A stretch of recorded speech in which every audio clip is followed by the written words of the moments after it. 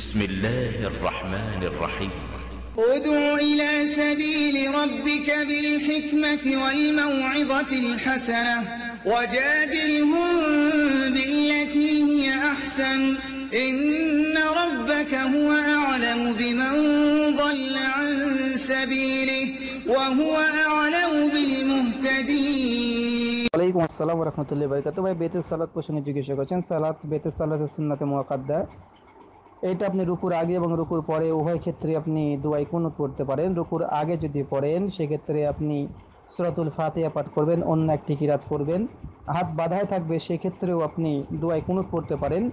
অথবা আপনি হাত শেষ মাথায় তুলে দিয়েও আপনি দুয়াই কুনুত পড়তে পারেন। এটা হচ্ছে প্রথম। দ্বিতীয় নম্বর বিষয়, যে আপনি রুকু করে ফেলেন সুরাতুল ফাতে অন্য একটি কিরাত করে, রুকু করে ফেলুন। রুকু থেকে উঠে দুই হাত সামনে তুলে দিয়ে যেভাবে মোনাজাত করেন, সেভাবে দুয়াই কনুত পড়তে পারেন। এতে কোনো আপত্তি নেই। সোনান দারি কুতনি, হাদিস এক হাজার ছয়শো আটাত্তর স্পষ্ট হয়েছে সনদে বর্ণনা আছে। জাজাকাল্লা ফের